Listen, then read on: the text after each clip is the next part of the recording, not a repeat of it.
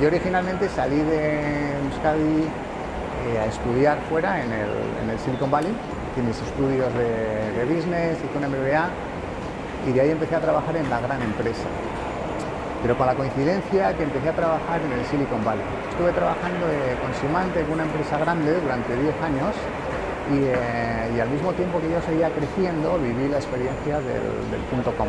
Tenía un poquito la, curiosidad de, emprender. Entonces durante aquel tiempo yo tenía eh, ciertas limitaciones por temas de visados y tenía que mantenerme en empresa grande, pero seguía constantemente mirando el mundo de las startups, que era lo que estaba pasando. Entonces, en paralelo de trabajar en empresa grande, empezamos un proyecto pequeñito que se llama Metric Soft, que nos lo acabó comprando una empresa de promociones en Estados Unidos, en Arizona. Y cuando decidí volver aquí a España, al final lo que decidí era que hubo un momento para empezar a moverme en el mundo del emprendimiento y es cuando salté en, la primera empresa que era NTR Global, que consiguió una de las ondas de inversión más grandes en Europa en aquel año en software as a service, que luego se vendió y ahí poquito a poco empecé a, moverme en este mundo. En tecnología y servicios, eh, especialmente en, tecnología, empezando en, tecnología en NTR, que era una empresa de, software as a service, de soporte remoto. De ahí hicimos un proyecto interesante en, Santander, el que transformamos una empresa de hosting y dominios en una empresa que eh, provee servicios de, cloud y que últimamente fue comprada por Ingram Micro, que ahora ha crecido a ser una, una, gran empresa. Parte de eso en el bot online también, un proyecto muy interesante de tres años y, ahora en varios proyectos eh, diferentes, pero siempre relacionados a, tecnología y software como servicio. Y, yo creo que depende de la persona, al fin y al cabo, ¿no? Yo creo que lo que notas es cuando estás de asalariado, pues tienes una seguridad, es una dinámica totalmente diferente cuando eres de emprendedor. Y yo creo que para ser emprendedor lo tienes que llevar dentro. Entonces yo creo que, en el punto de vista de incluso cuando estás siendo un asalariado, si es algo que llevas dentro, al final acabas, como digo yo, pasando al lado, al lado oscuro del, emprendimiento. Yo creo que lo interesante es que, Europa era, era, un greenfield, ¿no? En, el momento cuando empezamos muchos de los, proyectos que hemos, que hemos empezado. Y poco a poco se está, se está empezando a, profesionalizado ya muchísimo, ¿no? Pero hubo, un periodo en el que, el emprendedor tenía, tenía muchas oportunidades aquí en, Europa, incluso más en, proyectos que, en Estados Unidos. Igual la comercialización, ¿no? yo creo que la expansión a nivel global, que yo creo que están empezando a hacerse ya muy bien en, Escalería, y yo creo que, la ejecución, la mayoría de ellas tienen algún, eh, algún problema, algún problema de, ejecución, de entender, eh, poner prioridades y sobre todo en el mundo de las startups lo que ves claramente es que siempre parece, como dicen, el flavor of the week. Están yendo en una dirección y de repente cambian y cambian.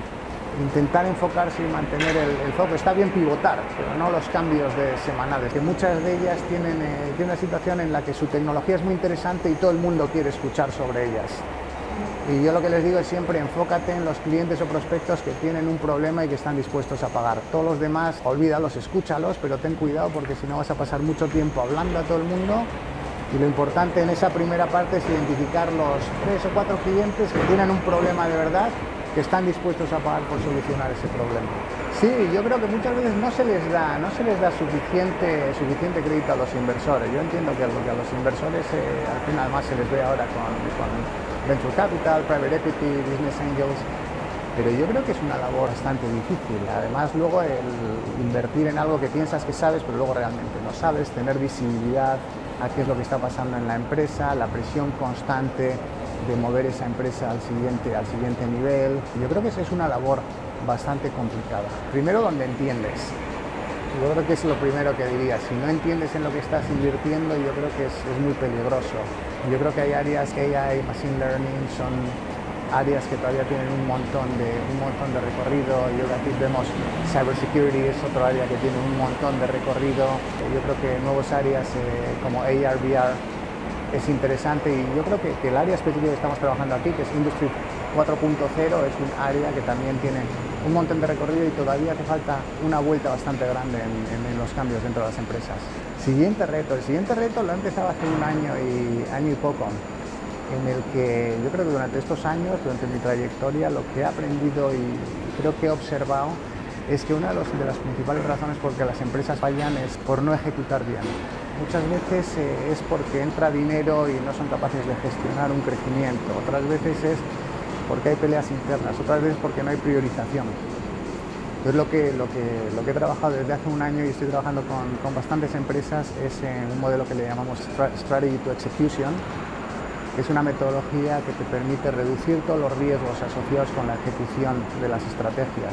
lo dividimos en tres, en tres grandes bloques, que es eh, primero traducir la estrategia en algo que todo el mundo dentro de la empresa entiende y puede priorizar, que es Goals, Objectives, Strategies and Tactics.